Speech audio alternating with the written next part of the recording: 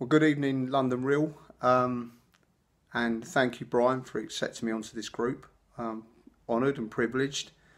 Um, been really inspired by the uh, Dan Pena stuff.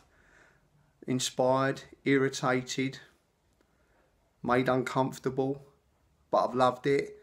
Um, I'm a massive fan of uh, Geoff Thompson. I've known him of old, um, and I've seen Brian. I've read, seen, seen some of Brian's interviews with him. Absolutely outstanding and I could never see the correlation between Geoff and uh, Dan Pena because Geoff is not your aggressive in your face guy even though he used to be.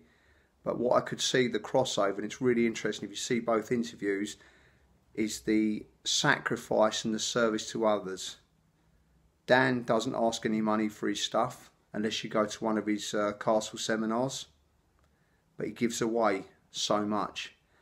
And uh, Geoff as well I know I, I know I've had the um, the honour of receiving stuff. I work with young people, and he, he sent. I don't want to embarrass him, but he sent me a huge uh, gift of um, his books and DVDs and that to share amongst people uh, because it's reciprocal when you serve. It does come back to you, but I know he didn't do it for that reason. I did it because he, I did it because he's a genuinely lovely, lovely man. So uh, I can't uh, honour or thank him enough. And I, I, if I could be half the man that he is, I'd be wow, what a, what a guy. Anyway, I'm going off on a tangent. So the accelerator, what do I want to do? I have a massive passion for young people, uh, a massive passion for tapping into the um, into what they can't see. You know, we everyone's into uh, personal development and being a better person and improving their chances.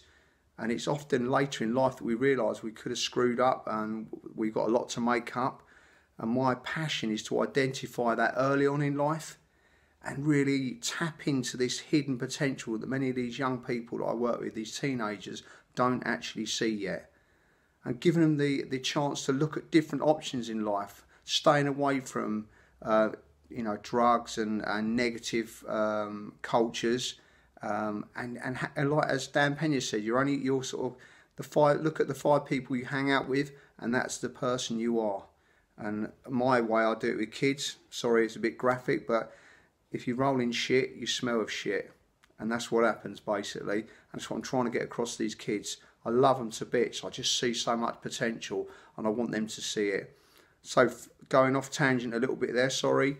My passion now, I work a lot with kids who are on the verge of being kicked out of education. And uh, for one, for many different reasons, I've been to uh, PRUs, which are pupil referral, referral units, and they're a bit like a holding area for naughty kids. And no one really cares what happens to them. There's no future for them, and all it is is an area where naughty kids feed off of naughty kids and become naughtier. They hone their skills, i.e., they start learning how to get into drugs, how to steal, to get involved in criminal activity. So my passion, my dream, has actually really clicked in when I watched one of Dan Pena's bits about when he was advising someone to get into healthcare in one of his talks. I don't know if it's recent or whatever. Um, invest because the health service is in a bad one. I think he was talking to a dentist and all that. Do something within health health industry. Well, what about education? I know we've got um, different organisations now running academies and things like that, but no one has yet tapped into um, the bad boy side of things, you know, where the, the, the, the misspent youth, those are dysfunctional, disengaged young people who basically need some some tough love, and I mean love as well. I mean generally look to be cared for, um, a strong male and female role models that will guide them and take them in the right direction. So that's my vision. I want to open, I want to open, and I want to run my first school. I'm not a qualified teacher, so I'll bring in other people to do that. As um, you know, many um, people like the Dan Penas of this world, if they don't know how to do it, they'll find someone else who can do it for them. But my passion, my passion, will make this happen.